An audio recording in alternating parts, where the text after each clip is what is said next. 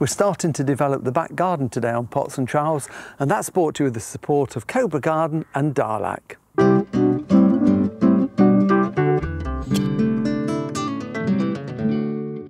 Hello and welcome to Pots and Trowels and welcome to the garden that we're starting to develop.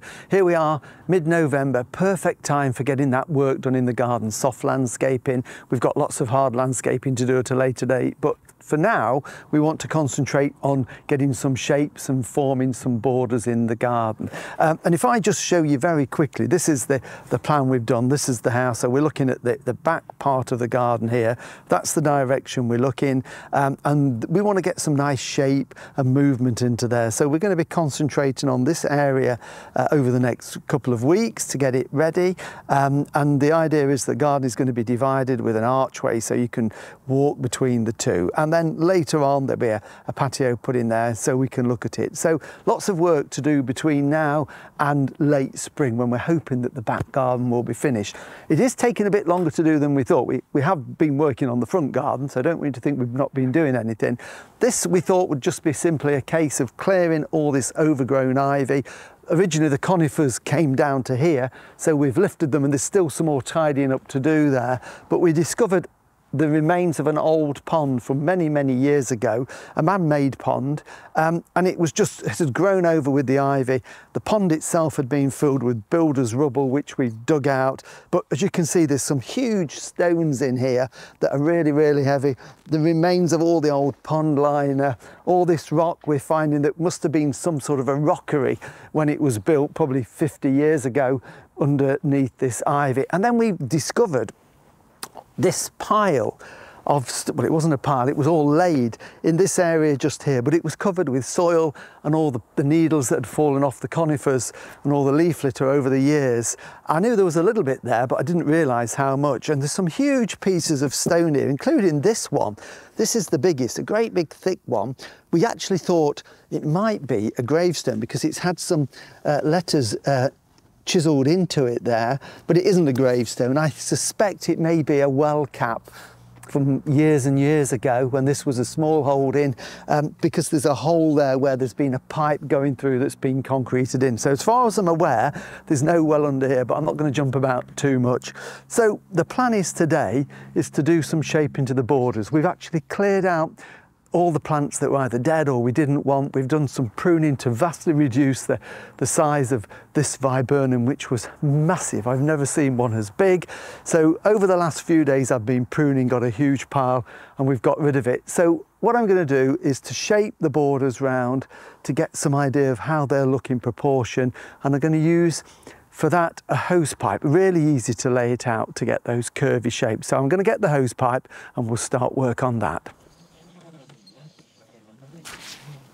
So what I'm doing is just laying the hose pipe round roughly at this stage because we can adjust it to the shape. So I'm just doing it at this point from memory of looking at the drawing. The reason we're doing this border here is because you can see there's a rather large ugly manhole here uh, which runs across the garden. So at the minute that's in the centre of the lawn and I don't want to see it. So the border will go around that, be planted, ground covers over that. It's still accessible, but it will be disguised. So that's what I'm doing is just feeding that round. And then this piece here, where I've got these pegs in the ground, is to indicate where the archway will be over the top. So the lawn will then follow round like this. So I'm going to play around with this and we'll get some shapes.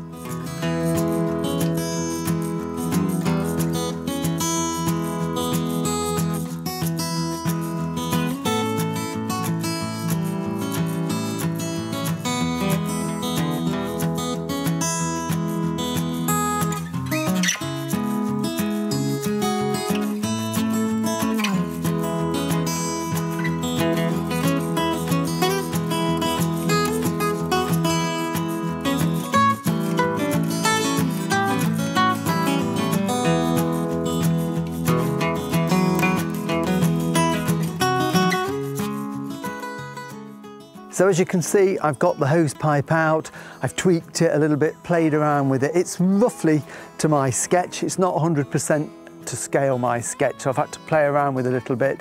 And what's a good idea is if you've got time is to put your rope or your hose pipe out, leave it for a day or two so you can get used to see in how it looks and then you can adjust it and make minor alterations. So I'm fairly happy with that as it's going to work out. What it means is, as you can see, I'm going to have to lift a fairly large area of grass, but then here, where it's soil from the existing border, that will be turfed in. So I'll use that turf to fill that in to give us the shape that they want. So to do that, which I'm going to do is I always use a, a half moon uh, edging iron. That's really good for cutting through the turf. And then I'm going to use my old turfing float um, that I've had many, many years. Used to use this when I was an apprentice. That's really good. Now, not everybody's got one of these. I totally get that.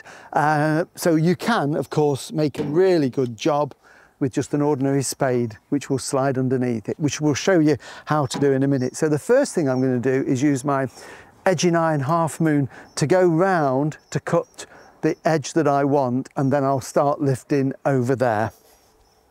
Little tip when you're doing this is put your foot on the rope or the hose pipe in this case. If you don't, you push it all over the place. So one foot on it and then the other foot on there and you can just push down, lift it up, push down, lift it up, and then move your foot along.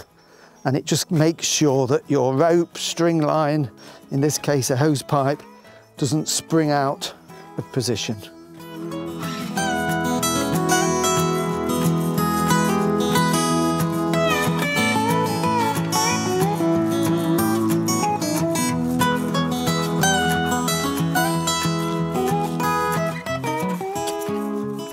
So lifting the turf from here, which is going to be laid over there, before we lay it, I have raked it to get it nice and level so it's flat with the rest of the lawn. And if you want more information on lifting and laying turf, we have done videos in the past, which of course you can find on YouTube. Just subscribe and search for them and, and have a look. So we better get on with this. There's a lot to do.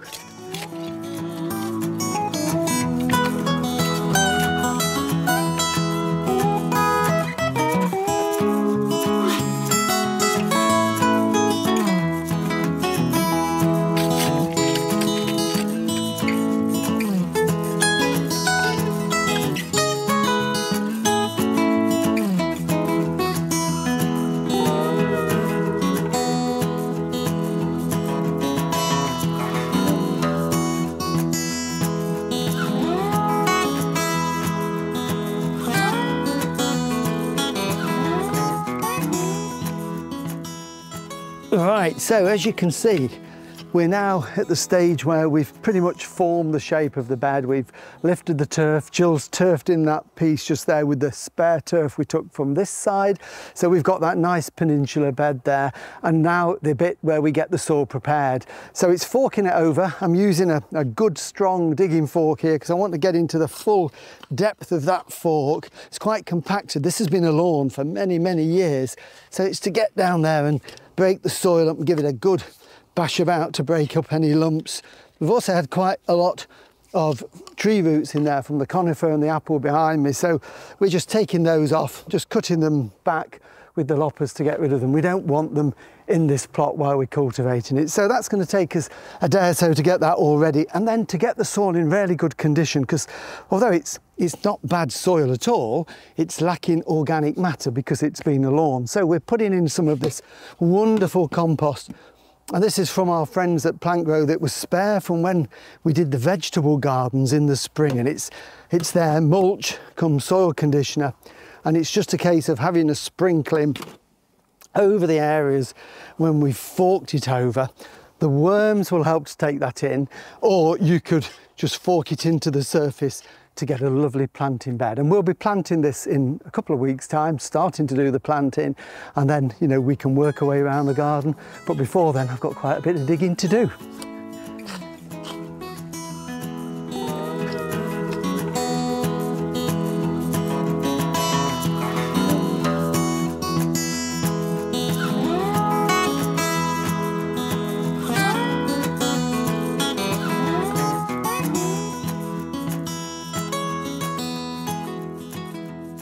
Well, thank you for watching Pots and Trowels and don't forget you can watch all the videos we've done over the past few years on YouTube and also we've got our new podcast which you can listen to from your regular podcast provider. Next week we're going to have a quick catch up in the veg garden so we'll see you then. Bye.